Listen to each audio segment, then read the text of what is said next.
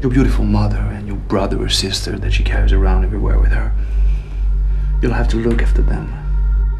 Be the older brother, their protector, and destroy anyone who tries to do them wrong.